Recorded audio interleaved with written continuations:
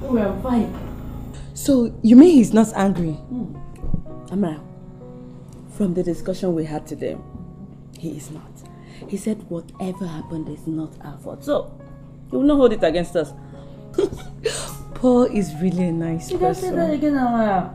He is nice. I was thinking he will actually hate me. I was really thinking he's going to like be so blow me. what is going on here?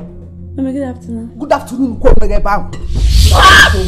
Good afternoon, So, Amanda, you have grown so big that you leave this house at will without informing anybody and come back here to eat in my husband's private parlor. Mother, this is not fair. What is not fair?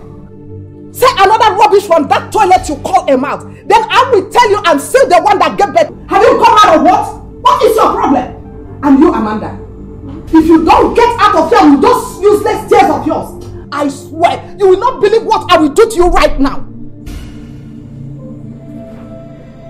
Sorry.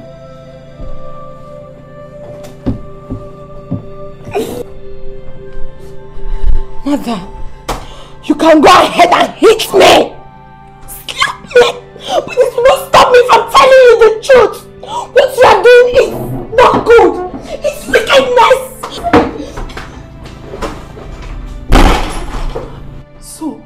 Amanda has succeeded in turning my own daughter against me, eh?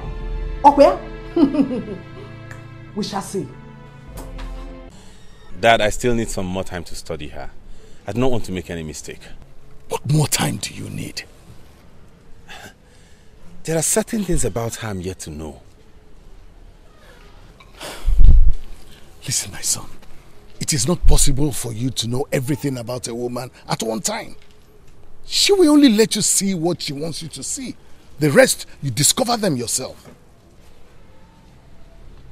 How do you mean? I want you to propose to that girl as soon as possible. The marriage rites must be concluded before the Iraufe festival begins. But dad, we, we, we can... I have spoken.